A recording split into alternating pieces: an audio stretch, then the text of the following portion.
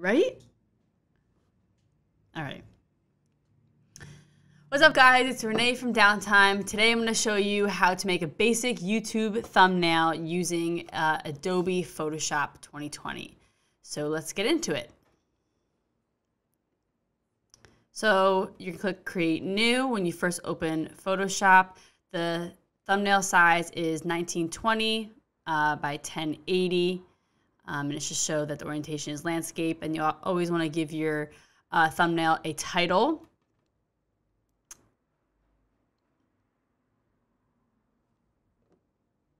And you click create, so that opens your, your slate here.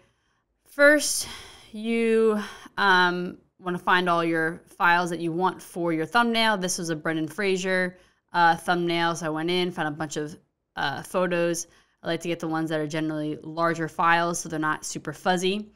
Um, you unlock your layer uh, to make sure the background edit editable. Um, so I'm to create a color background. So first I do a uh, gradient. And you can choose any color you want. They have a whole bunch. And then you also want to go and click to add another uh, solid color um, that you want to go with your gradient. I went in and I picked a, um, a blue. But you want to put it below the gradient so you get the whole effect there. So drag it below. The um, top item on your layers panel is what you see first. Uh, so let's go in and start bringing some of the photos.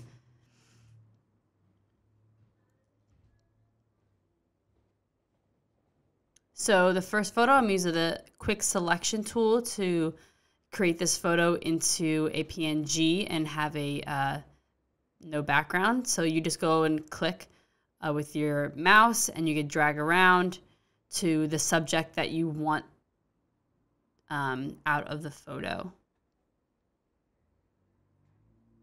From there, you have to unlock the background layer, select inverse, and then press delete, and that deletes the background deselect it, selection tool, and drag it over to your main file. Again, you have to drag your layer to the top so it is the top thing seen.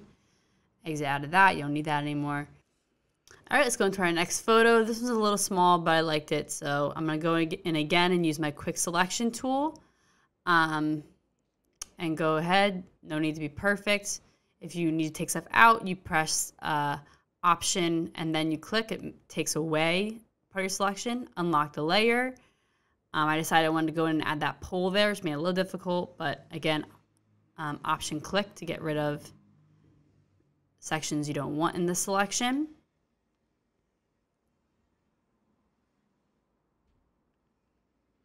Select inverse, delete, select deselect. So now I went and took my eraser tool to kind of you can tell that some of the edges are a little rough because my quick selection was kind of hard with this photo because it was so small um, and the pixels weren't that great.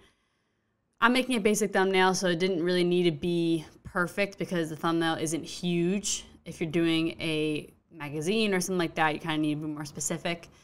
Um, so I'm just going in um, and you can use your toggle tools on your keyboard to make your um, eraser tool bigger or smaller. So all your cursors are around to um, drag and make your photo different. So now I'm using the Magic Eraser tool as a form of selection. You also can do select color range to, if you have a plain color background, to eliminate your background there. Um, I'm also going to show you another way, which is magnetic lasso tool, where you click to start and you kind of slowly drag around your, your object you want. Um, and you must connect it at the end like you see in order to create the selection. This is just another way you can uh, create quick selection. Select, inverse, delete, select, deselect. Again, I'm going to use my eraser tool. Drag that on and you can use your sizing uh, tools there to create it to the size you want.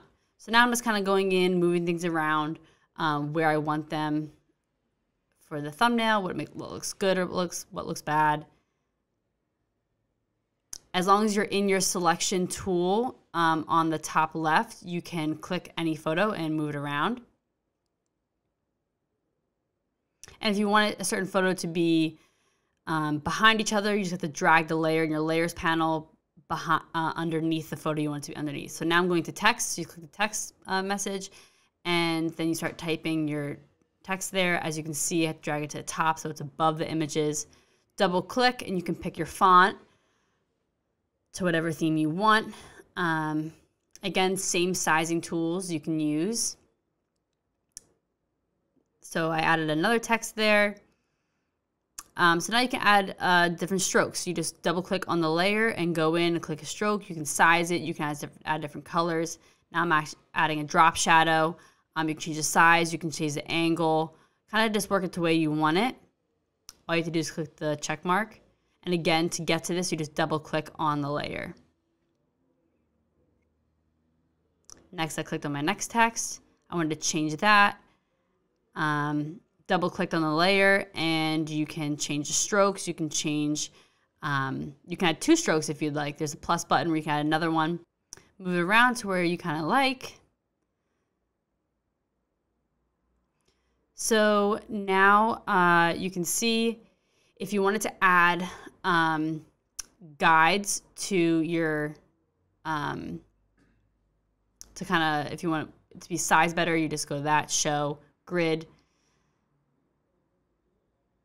Next, if you're, this is reset essentials. If your workspace does not look like this, that's where you would go.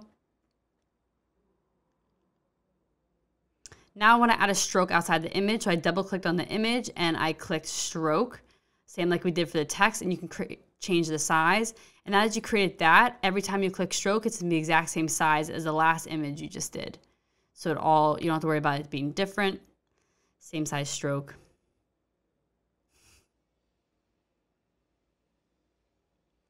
Now I'm going to add in another image. This image is already a PNG, so I can just drag it right in from my desktop. Again, adding a stroke, and now you can use the corner rotation to move it the way you like and size it around.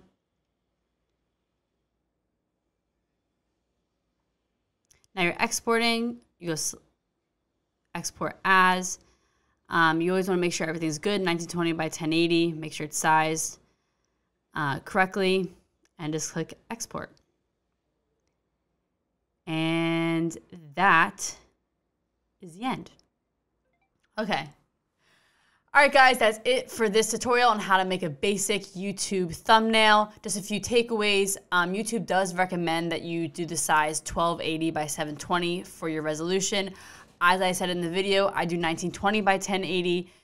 Either of those works for me, um, so whichever of those two are your preference. And as well, if your um, workspace did not look like mine did on Photoshop, an easy way to reset it is you go to Window, Workspace, Reset Essentials. Um, if you like this video, make sure you like, comment, and subscribe all things downtime. See you next time.